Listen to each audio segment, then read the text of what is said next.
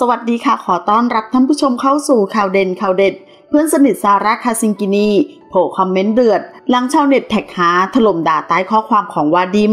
หลังจากที่ล่าสุดวาดิมสามีคนปัจจุบันของซาร่าคาซิงกินีได้ออกมาเคลื่อนไหว โดยโพสต์ชี้แจงรายยาว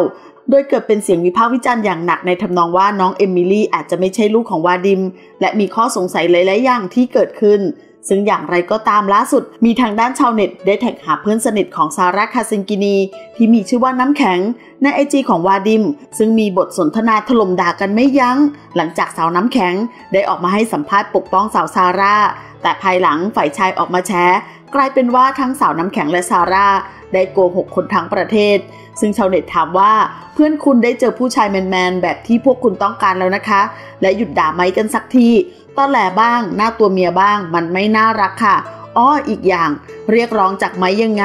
อย่าลืมเรียกร้องจากวาดิมแบบนั้นให้น้องเอมิลี่ด้วยนะคะ เพื่อคุณภาพชีวิตที่ดีที่คุณแม่ต้องการ ซึ่งน้ำแข็งได้มาตอบว่า ไม่เคยด่าใครโดยใช้คำพูดภาษาหรือคำศัพท์ที่คุณกล่าวมานะคะ ที่บ้านเลี้ยงมาค่อนข้างให้สุภาพค่ะ พูดไม่จริงค่ะ ใครจะแปลไปคำอื่นหรือ etc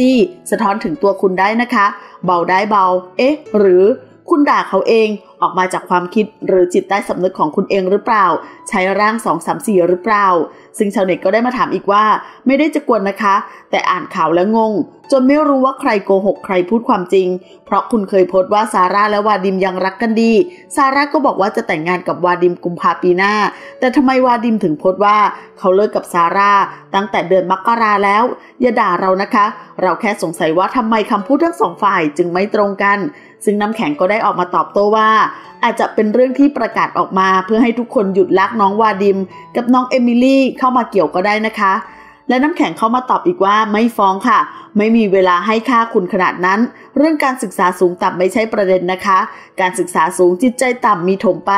การศึกษาธรรมดาจิตใจสูงก็มีถมไปค่ะ การศึกษาไม่ได้ยกระดับสถานะของคน แต่จิตใจต่างหากที่เป็นตัววัด ส่วนเรื่องฟ้องไม่มีเวลาทำค่ะ ไม่ใช่คนดัง แต่คุณคุณว่าคุณเคยไปด่าซาร่าไว้ใน Facebook รอหมายจากทางนั้นนะคะ เห็นว่าทนายเตรียมฟ้องไว้ ข้อมูลแน่นอยู่พอสมควร มีเวลามีเงินเตรียมใจให้พร้อม Hashtag ไปให้สุดและหยุดหน้าบัลลังก์ค่ะ ซึ่งชาวเน็ตก็ได้เข้ามาคอมเมนต์อีกว่า โอ้ยโปะแตกขนาดนี้ขอเถอะ หยุดได้แล้ว ผลกระทบตกอยู่ที่เพื่อนกับหลานตัวเอง1 0 0 0 0 0เปอร์เซ็นต์ถ้ารักเพื่อนขนาดนั้นขอให้หยุด การไม่ออกมาพูดบางทีก็เป็นการหยุดทุกอย่างได้นะ มันสำคัญมากเหรือว่าใครจะชนะการเถียงการแถในตอนนี้ เอาเวลาไปดูใจเพื่อนตัวเองกับหลานตัวเองเถอะ คือเกลียดซาร่ามากแต่ที่ซวย และเริ่มสงสารเนี่ยเพราะไม่มีใครหยุดสักที